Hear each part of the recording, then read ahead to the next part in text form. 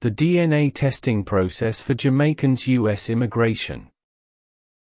The process to obtain a DNA test result for an immigrant visa or CRBA evidence submission is a straightforward process. In this video we will share with you what you can expect to occur when performing an immigration DNA test for Jamaican immigrant families. 1. After the petitioner receives a request for evidence document from either United States Citizenship and Immigration Services or the Kingston Embassy suggesting an option to perform a relationship test. 2. Contact IDTO at 877 680 5800 to learn about our relationship testing services, or to schedule an appointment and case initiation performed by our partner AABB accredited lab. 3. After the petitioner's samples have been collected, the samples will be shipped to the laboratory and await to be analyzed. 4. Upon receipt of the petitioner's samples, the lab will ship a DNA kit to the embassy in Kingston for the consular officer to schedule the beneficiary's DNA specimen collection appointment.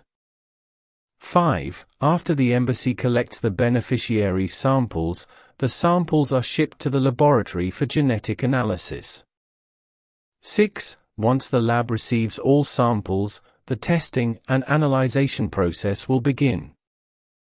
7. When testing is complete, the lab will issue a DNA relationship testing report to the requesting immigration office, and a copy will be sent to the petitioner for your records.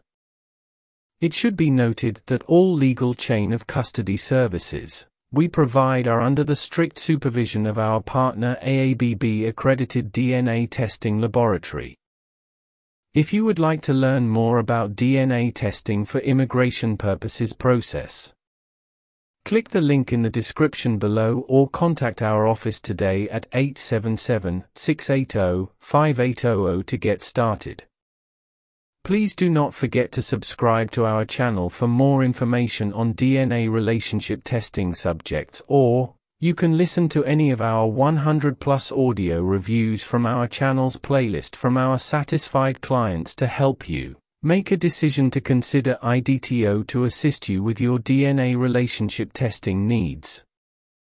Thank you for watching.